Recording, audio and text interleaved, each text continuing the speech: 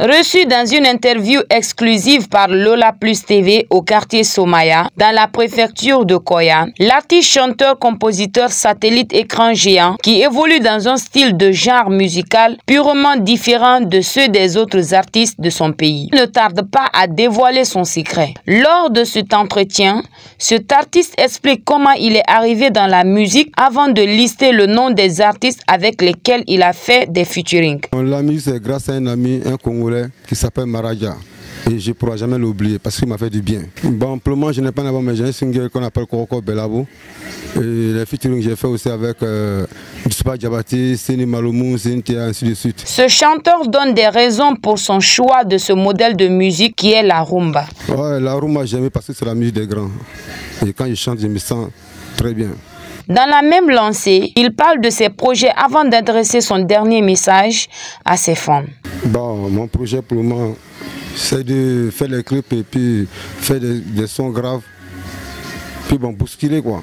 Voilà, j'ai dit à mes fans de rester tranquille, le temps c'est le temps. Voilà. je suis tous en forme et en force.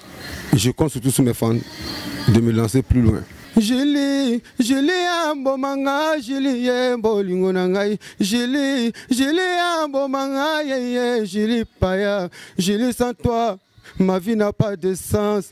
Julie, sans toi, ma vie n'a pas de sens. Le kwa beka bonga drapo ya langola zilinga mamoma. Le kwa beka bonga drapo ya langola zilinga mamomi. Ekele ni kaya pala ngakena bazuka wo jili moma. Ekele ni kaya fenet ngakena bazuka ye jili moma. Jili revient la nye ye ye. Jili ni miye ngote selala ngokanu. Jili ni miye yango teselala nga jus d'orange chéri paya mbopa yelanye mbopa yelanye il est 4 heures du matin pardon. Mbopa yelanye il est 5 heures du matin chéri pardon. Nga mambela bombela mbongalo ngala. Ngalo ngala ngalo ngala mama. Ngalo ngala trésor. Ngalo ngala mama. Ngalo ngala yikanye caresse-moi vas-y douce. Allez on y va. C'est là caresse-moi Satellite Écran Géant est un artiste qui se fait remarquer aujourd'hui dans le milieu de la musique guinéenne à travers son style particulier.